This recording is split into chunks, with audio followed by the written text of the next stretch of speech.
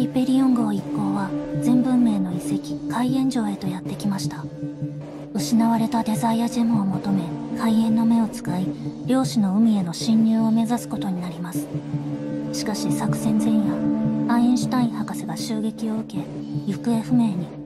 同時に海縁の目も原因不明の暴走を起こします。デザイアジェムを取り戻すためブローニャは漁師の海へと飛び込んだのでした。ブローニャ。作戦。地僕はヨアヒム。君の名前は？ブローニャと言います。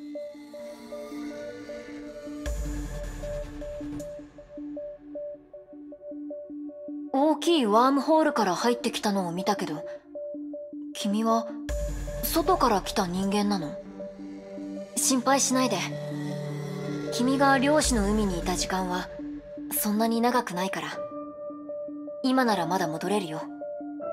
ご心配ありがとうございます。ですがブローニャはまだ戻れません。ブローニャはあるものを探しています。それが漁師の海の奥にあるのです。君漁師の海の奥に行きたいの？あそこは危ないから近づいちゃダメだよ。漁師の海の危険性は承知していますがブローニャはどうしても行かなければなりません。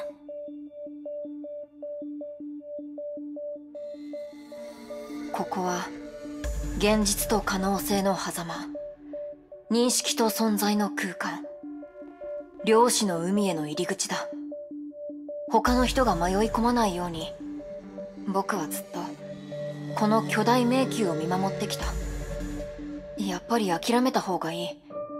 漁師の海に入るには資格が必要だから。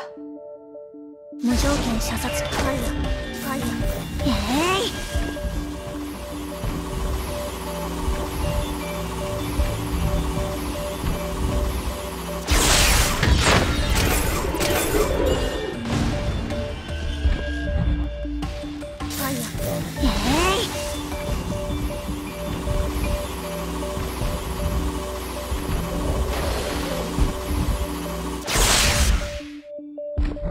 回収完了。ファイい、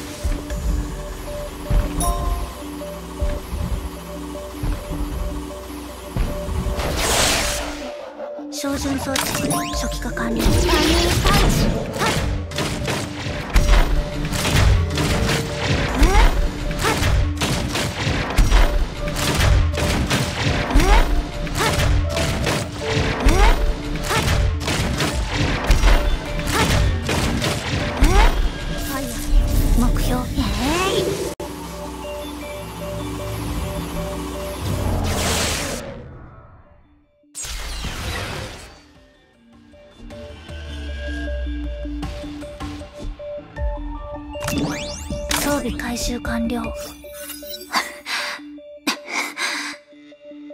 この怪物たちはあなたが召喚したのですか？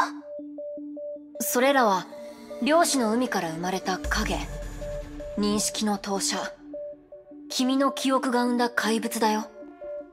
この空間にいる限り君は自分の心の奥にあるものを見続けるんだ。僕の意志とは関係なく君が漁師の海に近づくほど影は活発になる。武器がそれらに与えられるダメージは限られている。でも君にはそれらと対抗できる力があるみたいだ。重装ウサギのことですか？重装ウサギ。かわいい名前だね。その力も漁師の海から来ているけど君はまだそれを全て理解していない。でもそれは今する話じゃないんだ漁師の影はブローニャを脅かすことはできません。これならブローニャにも漁師の海に入る資格がありますか？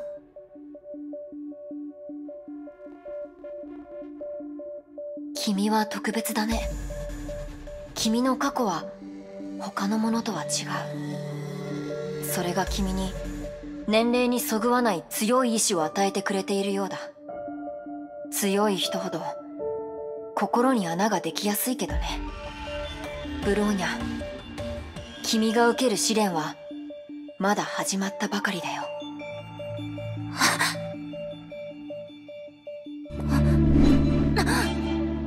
君はもう一つの世界こことは全く異なる世界に行くんだ。気をつけて過去の迷いや痛みが君の最大の敵となるだろうから。その世界で君の答えを聞かせて。指示的のエネルギー消失。任務完了と判断しました。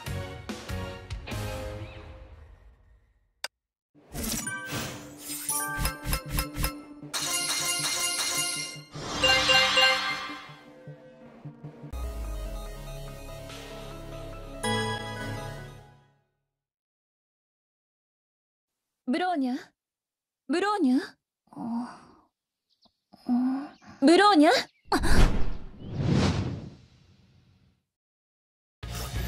どういうことです？ここはどこですか？ここはセーフレイヤ学園1年 C 組。水曜午前2限村田姫子の英語講義よ。ブローニャ？あなたみたいな優等生でも授業で居眠りするとはね期末テストが近いからみんなが頑張っているのは知っているけどちゃんと休むことも大事よ。万が一試験中に眠ってしまったら私みたいに優しく起こしてくれる試験官なんていないからね。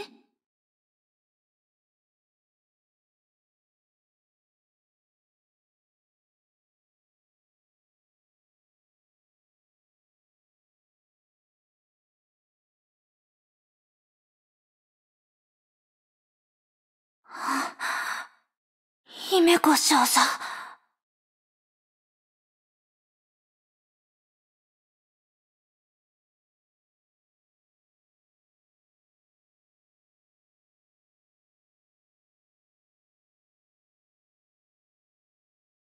ブローニャ？そう重く捉えなくていいわよ。でも次は気をつけなさいね。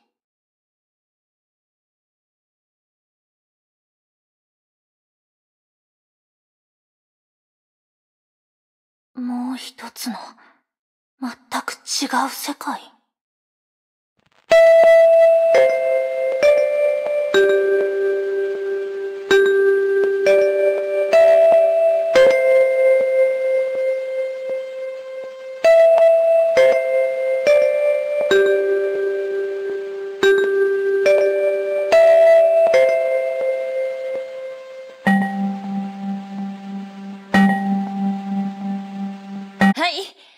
の授業はここまで。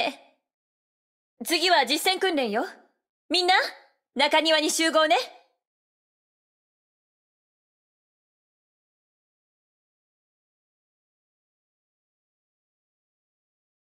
似ています。外も中も記憶の中のセーフレイヤ学園とそっくりです。でも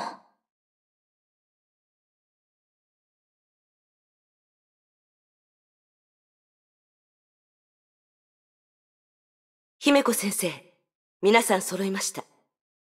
今日は自由訓練よ。3人で1組。揃ったらウォーミングアップを始めて。もうすぐテストだから怪我しないように気をつけること。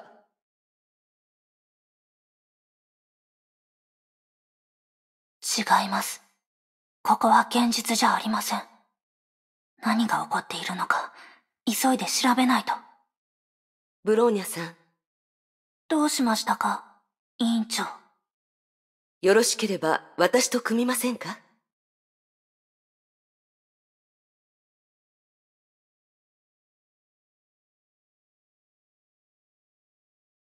はい。問題ありません。私も入らせてもらうわ。姫子先生。私一人であなたたち二人の相手をするわ。うん。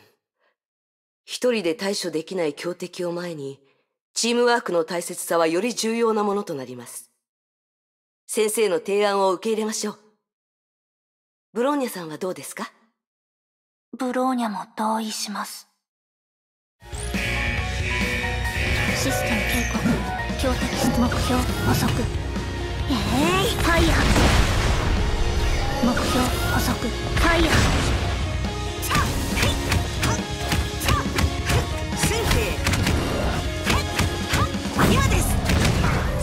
目標。ファイヤーファイヤーレスキュー戦術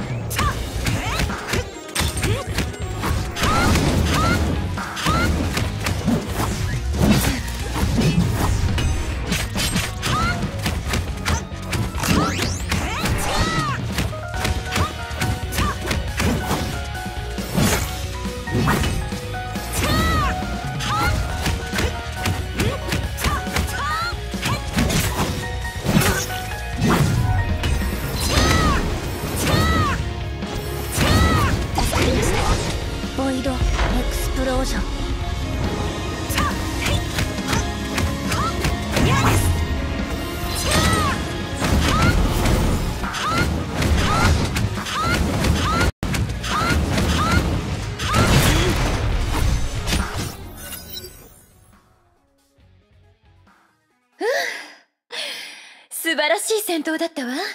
二人ともよく頑張ったわね。特にブローニャ。驚いたわ。私と模擬戦なんてしたことないのに、まるで私の動きをすべて把握してたみたい。素晴らしい才能だわ。今後も楽しみにしているわよ。さあ、橋の方で少し休憩しましょう。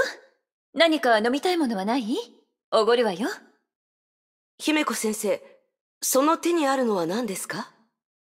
そ、そうね。授業中にお酒はやめてください。生徒に悪い影響を与えてしまいます。少しだけだし、酔わないわよ。ダメです。あと数分で休み時間だし、構わないでしょ？ダメです。それに、午後にも講義がありますから、昼休み中の飲酒も禁止です。あの瓶に触れないよう見張っておきますから。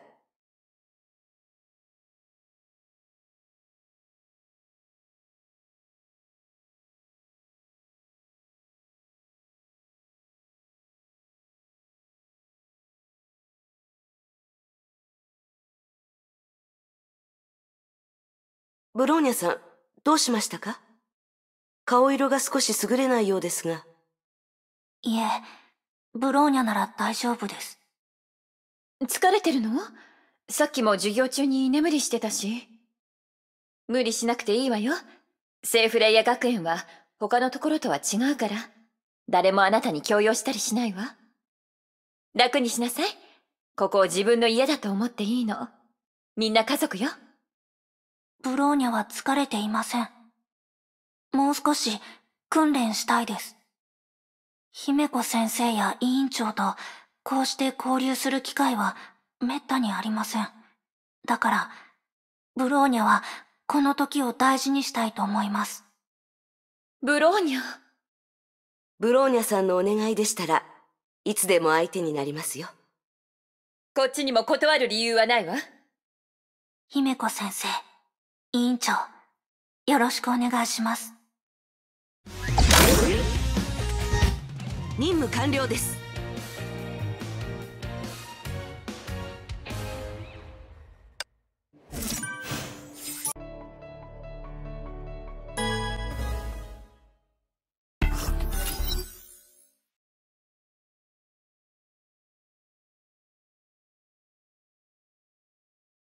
今の状況を整理しましょう。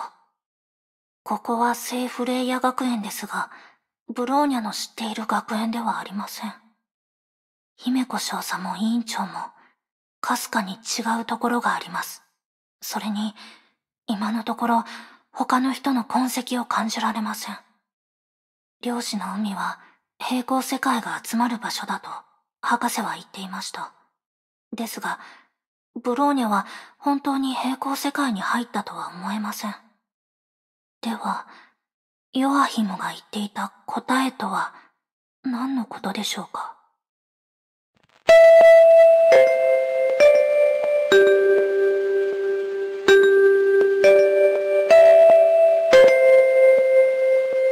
情報が足りません。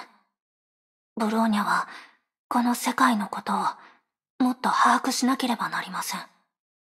午後の講義は、歴史ですね。何か役に立つ情報を得られればいいですが。あら、今日欠席してる生徒がかなり多いわね。え？授業を始めるわよ。みんな席について。歴史の授業よ。今日は前回の続き、第二次崩壊について説明するわ。ブローニャ？私をじっと見てどうしたのかしら？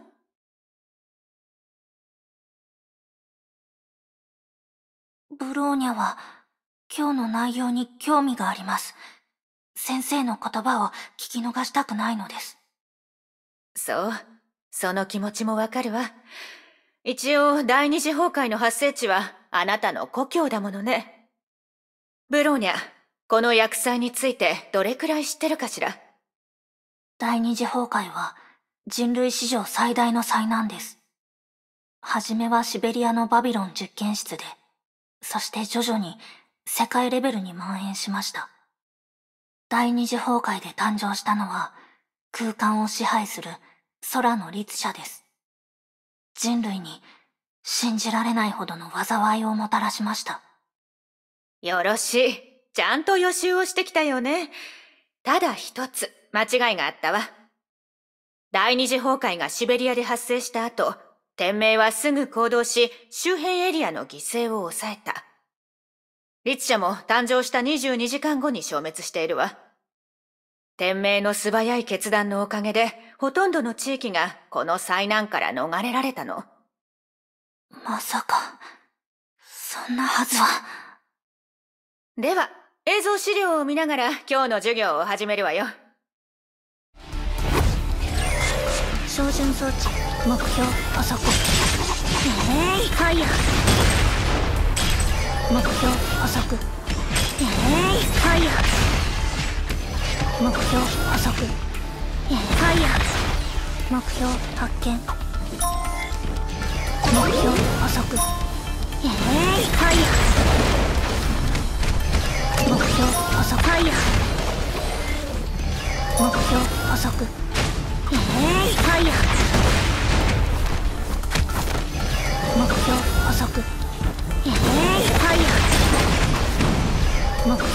標補足来いえい、ファイヤー。目標。補足えい、ファイヤー目標。補足ファイヤー照準装置初期化完了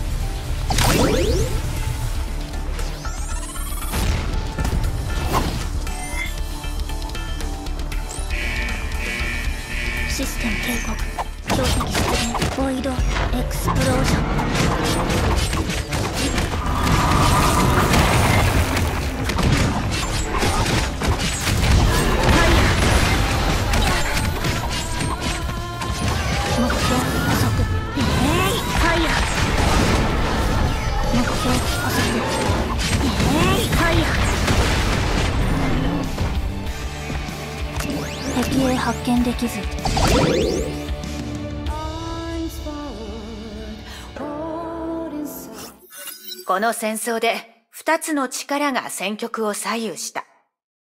一つは天命北米支部が開発した戦術機構。第二次崩壊で初めて実戦投入され、バルキリーに劣らないほどの戦闘能力を見せたわ。二つ目は、天命 S 級バルキリー、セシリア・シャニアテが率いた節郎小隊。彼女たちは律者と戦いながらシベリアとその周辺の救援を行い、大勢の一般市民を守ったわ。彼女たちの努力がなかったら、崩壊が世界にもたらした痛みはより大きなものになっていたでしょう。かくいう私も、当時、彼女たちに救われた身よ。でも崩壊が収束した後、節郎正体にはある疑惑がかけられたわ。無断で職務を離れた疑いがあるってね。天命側は彼女たち節郎招待に一般市民を避難誘導するよう指示なんて出していなかったのよ。でも私から見ると彼女たちは間違っていないわ。自分で判断もできないで命令に従うだけのバルキリーなんて、ただの道具と何の違いもないでしょ。それについてはみんなもわかっていると思うわ。だからセイフレイヤに、あのセシリアさんが作った学園に来たのよね。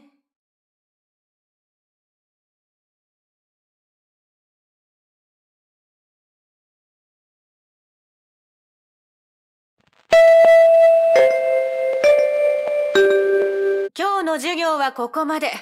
もうすぐテストだからちゃんと復習もしておくように。ブローニャが知っている歴史と全然違います。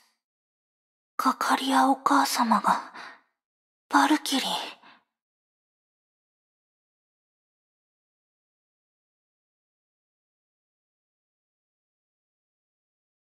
かかりや、先生。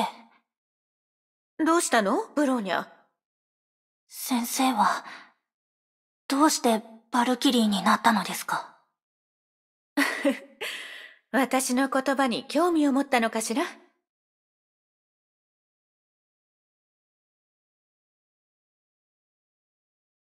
うん。なんででしょうね。先生もそれについて考えていたわ。私はシベリアの孤児院で育ったわ。幼い私にとってただ生きることが全てだった。こういう子供は北の方では珍しくないわ。私と同じような孤児を何人も見たことがある。何かしてあげたいと思った。例えば、軍に入って子供を保護したり、暖かい家になる孤児院を作ったり。でも先生はバルキリーになりました。気づいたの。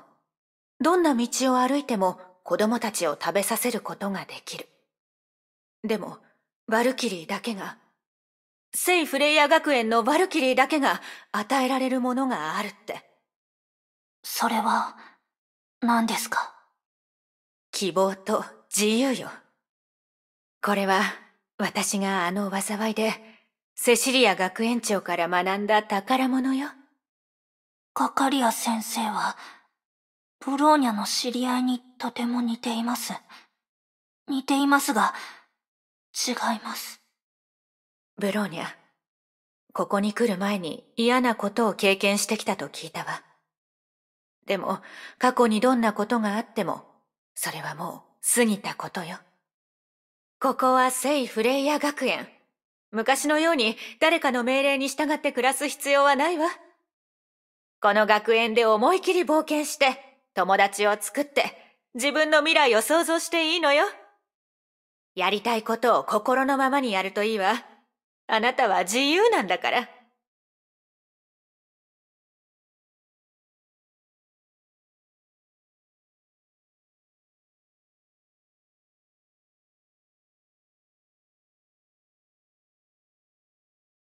かかりや今大丈夫？どうしたの？姫子。前に本部からもらった任務。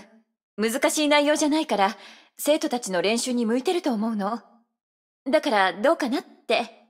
ただ、すぐに出動しなきゃいけないんだけど。生徒を含めて今動けるのはどれくらいいるのかしら ?4 人よ。前にあなたが招いた子も入れてね。ちょっと少ないわね。もう一人くらい連れて行った方がいいんじゃない？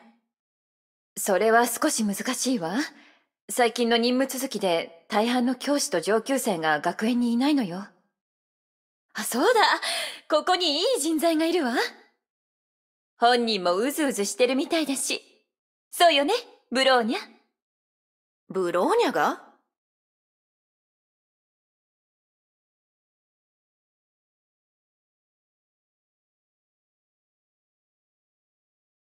ブローニャは皆さんと一緒に任務を遂行する自信があります。人手が必要でしたらブローニャを先生の招待に入れてくれませんか？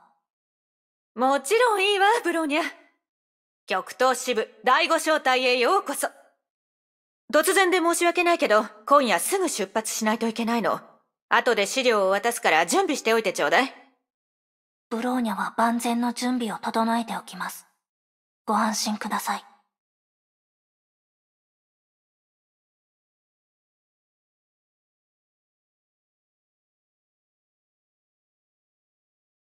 過去の痛みと迷い。ブローニャにとって、その言葉は、ある人のことを思い出させます。カカリア先生。その近くに、ブローニャの探し物があるかもしれません。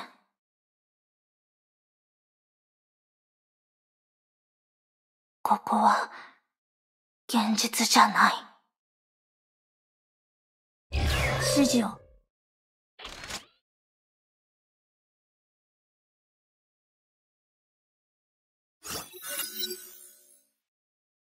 ブローニャ、他のメンバーを紹介させてもらうわ。まずは姫子先生。それからフカ、あなたのクラスの委員長ね。カカリア先生がおっしゃっていた新メンバーは、ブローニャさんのことでしたか？あともう一人、あら？まだ来てないの？ごめんなさい遅くなりましたこの声。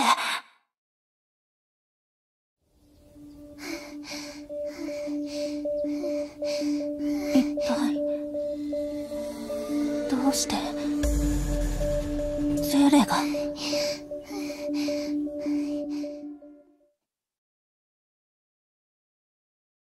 執行命任務完了。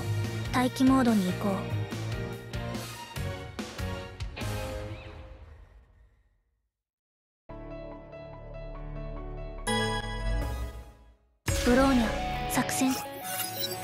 先生遅くなってごめんなさい。遅刻するとはね何かあったの？準備に時間かかってしまって。でももう大丈夫です。ならいいわ。紹介するわね。この子が今日入ってきたブローニャよ。年はあなたより少し上ね。ブローニャ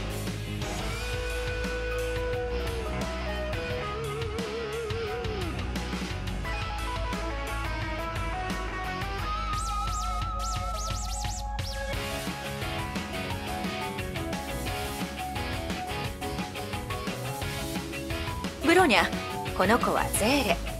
少し人見知りだけどいい子だから仲良くしてあげてね。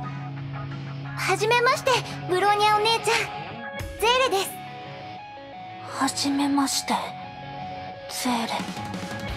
戦艦の到着まであと数分。みんな準備はいいわね。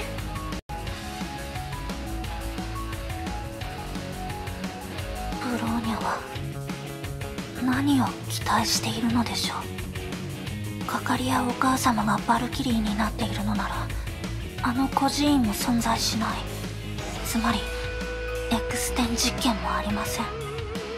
つまりこの世界には普通に成長したゼーレがいることをブローニャは分かっていたはずです。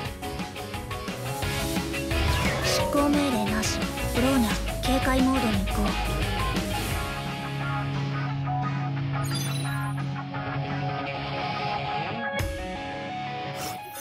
目的地に着きました。任務を確認しましょう。3日前に本部の輸送部隊が襲撃を受けました。死傷者はいませんでしたが重要物資が奪われています。この襲撃はネゲントロピーという地下組織と関係している可能性があるとのことです。ネゲントロピーって天命を裏切った人物が作った反天命組織よね。その行動は慎重なものでしたがここでボロが出ました。情報によると奪われた物資がこの近くで目撃され銀狐という情報屋の手の中にあるようです。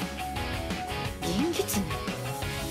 ネゲントロピーの一員かしら？いえ銀狐はこの土地の顔役。地下組織の一員にしては目立ちすぎる人物よ。だから違うと思うわ。おそらく協力関係なんだと思います銀狐が依頼を受けて襲撃を仕掛け入手した物資を組織に渡す段取りだったんじゃないかな。それならその人物に会う必要がありそうね姫子と深は私と共に銀狐のもとへ行きましょう。その間ブローニャとゼーレはこの周辺の地形を調査して物資の隠せそうな場所を割り出してちょうだい。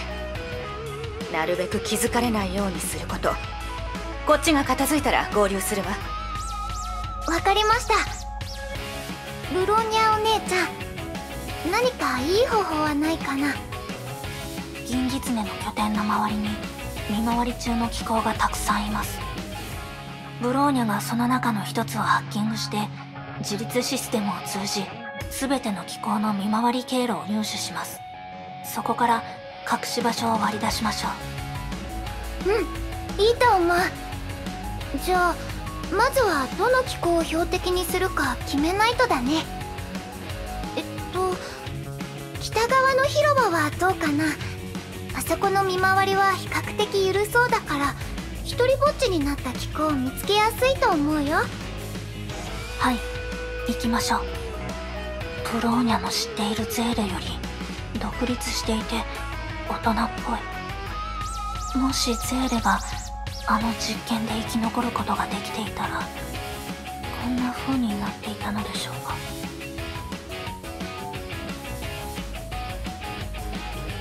ゼーレ目標発見。ブローニャ了解しました。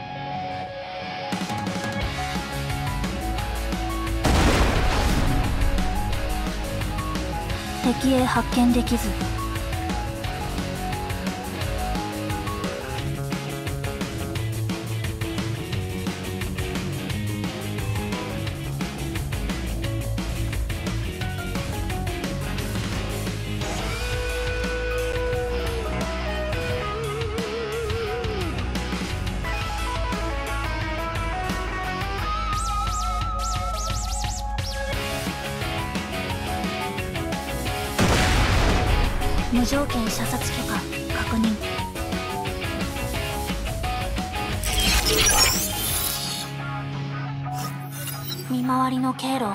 すると拠点の北側と西側にそれぞれ厳重に守られているエリアがあります。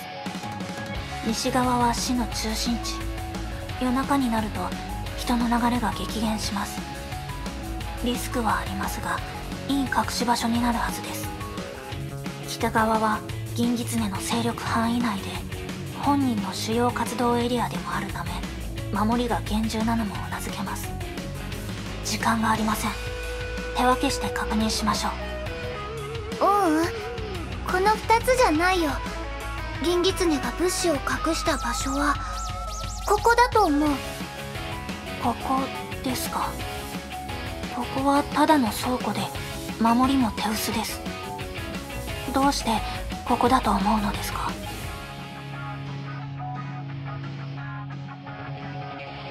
ゼーレ。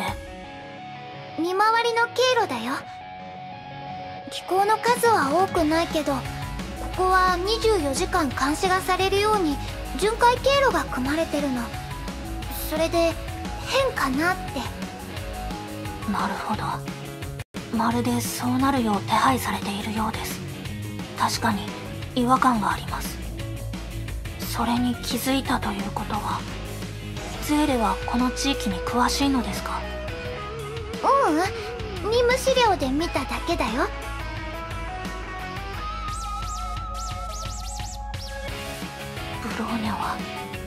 資料でこんな内容を見た記憶がありません。この違和感は何でしょうか？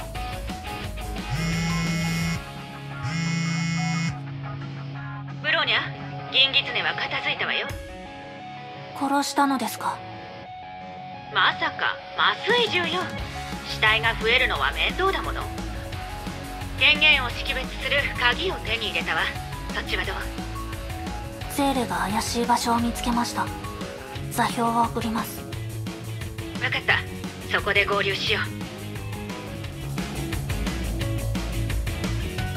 目標発見。艦長次の目標座標を。目標補足。ファイヤー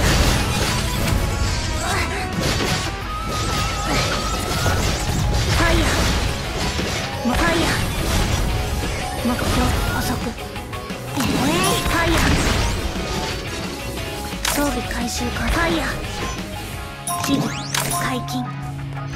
目標補足えーいファイヤー目標補足えーいファイヤー目標補足えーファイヤーファイヤー目標補足えーファイヤー目標補足えーファイヤーファイヤー開始。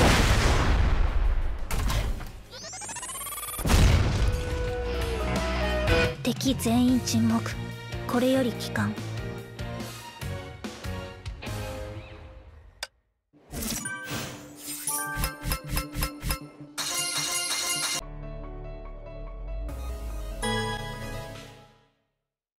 ブローニャ作戦地点に到着。この廃棄された倉庫が銀狐が物資を隠した場所？これは生体識別センサーです。横の壁に隠されています。銀狐の拠点内のものと一致します。この倉庫も彼の所有物のようですね。よくやった。あなたたちの読みが当たったわね。ゼレブロニャ。早速いただいた鍵を使って倉庫を開けましょう。奪われた宝物が何なのか確認しようじゃない。君たち誰？ヨアヒもどういうこと？倉庫にそれらしいものはないしいるのはこの子一人だけ。でも銀狐が物資を隠した場所はここのはずよね。まさかこの子が行方不明になった物資？何ですって？君たち僕に何をする気？嫌だ！来ないで！気をつけてください。この子に崩壊エネルギー反応が出ています。崩壊エネルギーを使って武器を作り出そうとしているのですか？執行命令なしブローニャ警戒モードに移行目標補足。えーいファイヤー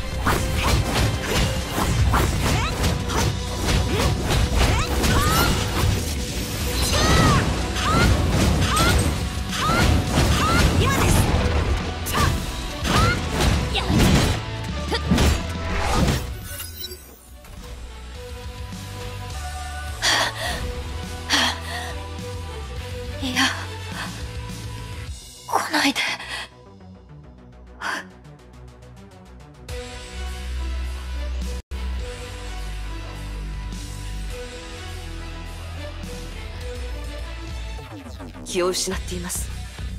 どうやらあの変わった力が彼の体力を大量に消耗させたようです。この子の体傷跡がたくさんあります。かなり古い傷もあるようです。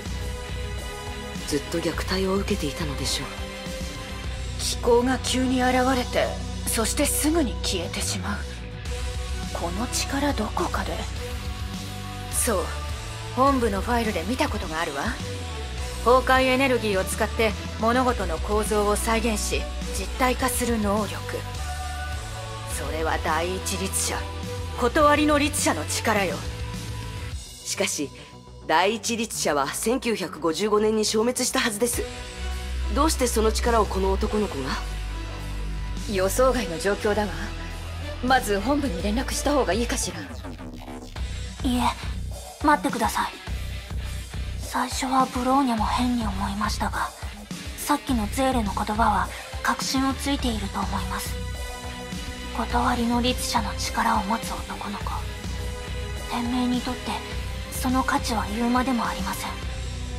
この子が重要物資だと言われても納得ができます。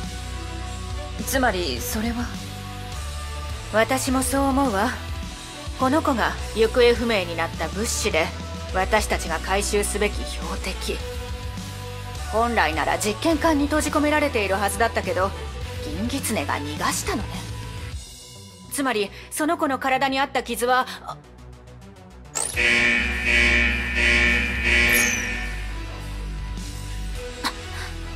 識別不能の部隊が大量に近づいています。まずい。ネゲントロピーの追っ手ですおそらく銀狐の件がバレたのでしょう。この子を連れて早く逃げないと。敵の数が多すぎる。気絶した人間を連れたままだときっとすぐに追いつかれるわよ。別々に逃げましょう。ブローニャはゼーレと彼を連れて先に行きなさい。撤退ポイントで待ってて。しかし。あんたたちは十分やってくれたわ。あとは任せなさい。私たちを信じてその子を連れて行ってください。わかりました。ブローニャは先に撤退ポイントで待ちます。ねえ私の活躍はどうだったの？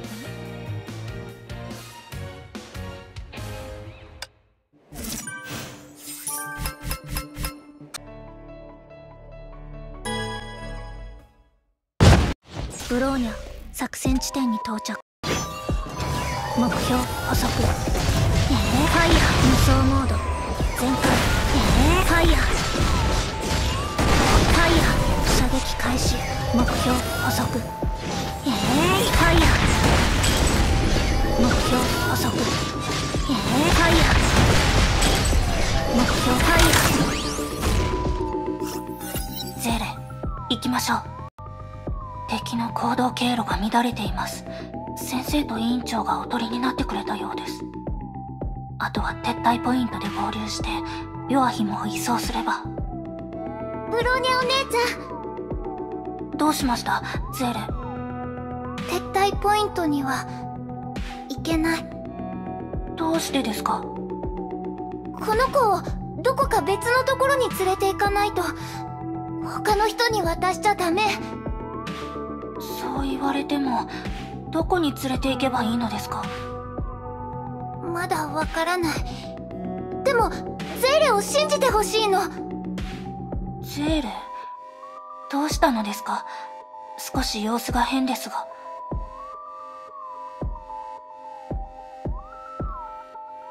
ダメ。ブローニャお姉ちゃんその子をゼーレに。このままじゃまた最初から繰り返しにこのままじゃまた最初から繰り返しに。ゼーレ。彼を私に渡して。照準装置初期化完了目標補足。ファイヤー。目標補足。えーいファイヤー。ファイヤー。目標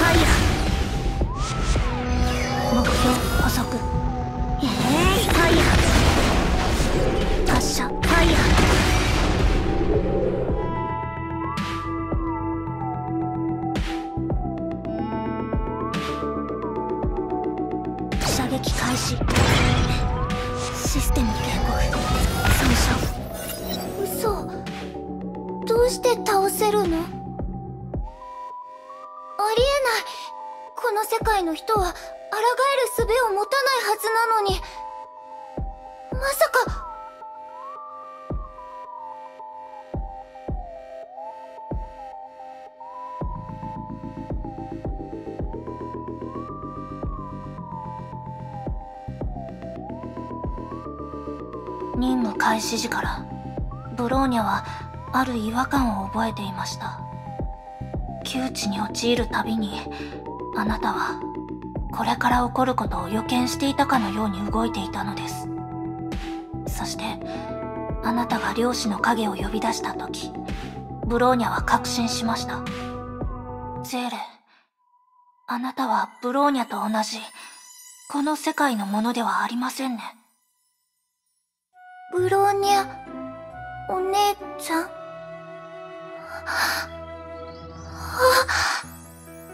本物のブローニャお姉ちゃんなの？ええ。本当にブローニャお姉ちゃんなの？ゼーレブローニャはここです。ここにいます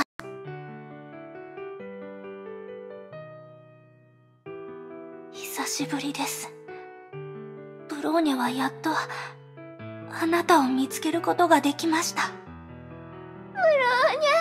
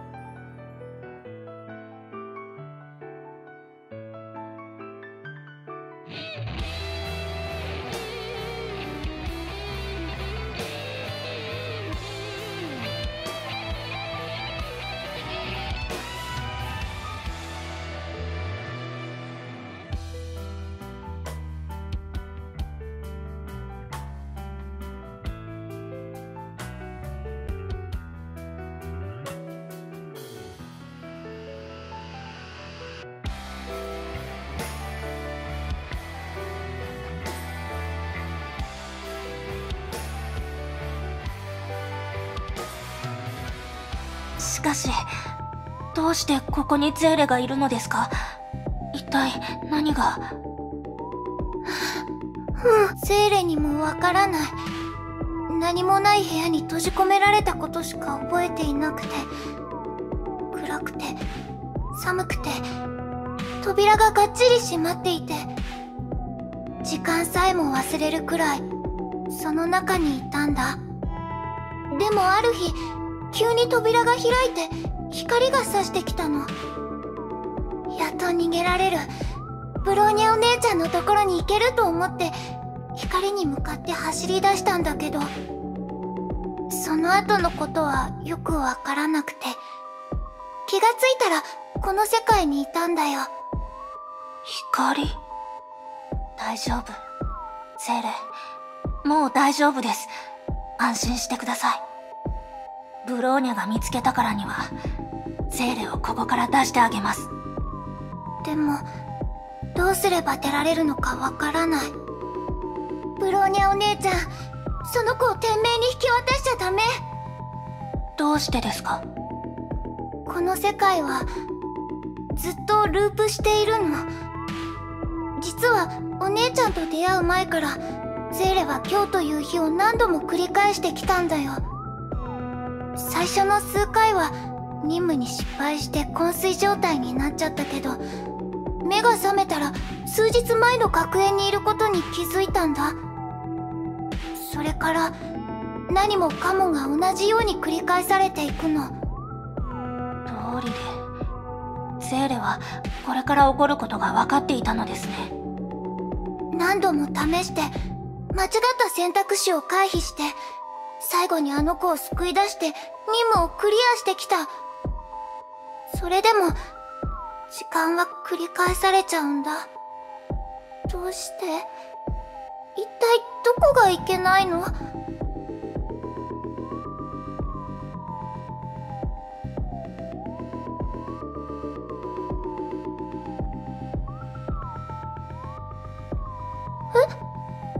怖がらないでくださいゼーレ。今の言葉でブローニャは何が起きているのかを理解しました。どうすればいいかは分かっています。ブローニャを信じてください。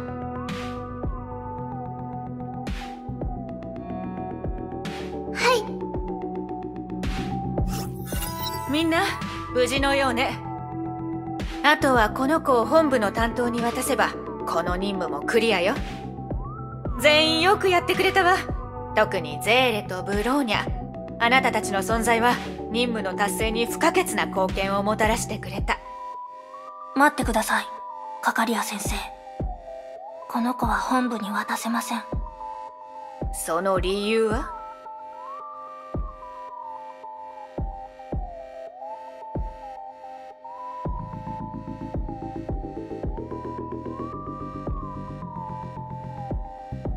感電跡やけど手術の痕跡。これは天命の実験室で非人道的な扱いを受けた証拠です。彼をそこに戻すことは彼を地獄に送ることと同じです。ブローニャさん確かにその通りですが送らなければどんな結果になるかも考えなければなりません。彼には律者の力があります。彼自身もコントロールできないほどの力です。彼が人間に危害を加える律者ではなく普通の人間と同じように成長するなど誰も保証ができません。しかし彼を実験室に戻せば彼は律者にしかなり得ません。ブローニャとゼーレは彼を聖フレイヤ学園に連れて行くことを希望します。彼は律者になるかもしれません。または英雄になるかもしれません。しかしどんな運命であれ彼自身が決めるべきです。ブローニャたちにできることは考えることを彼に教えることです。希望は何なのか未来は何なのかそれを考えることです。これは人間としてあるべき自由です。これも今まで聖フレイヤ学園がブローニャに教えてきたものです。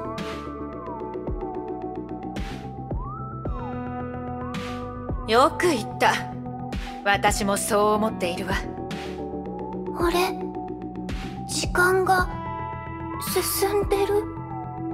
カカリアもひどいわね。わざと試すような真似して。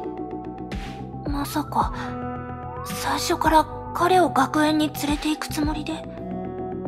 もちろんよ。私たちは聖フレイヤのバルキリーだもの。さあ彼をこちらへしブローニャ警戒モードに移行。任務は失敗。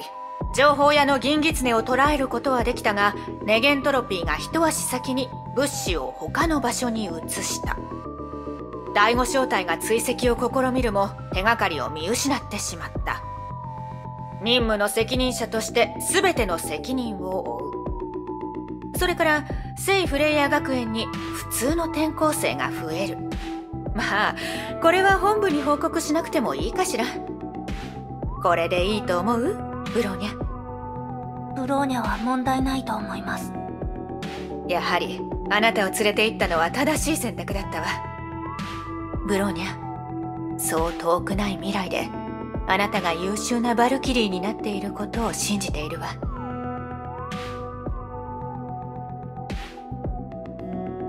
ありがとうございますカカリア先生。彼を輸送艦には乗せない。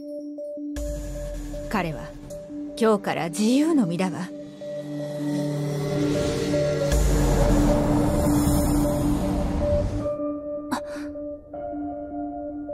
ブローニャたちは戻ってきたのですか？試験任務完了待機モードに行こう。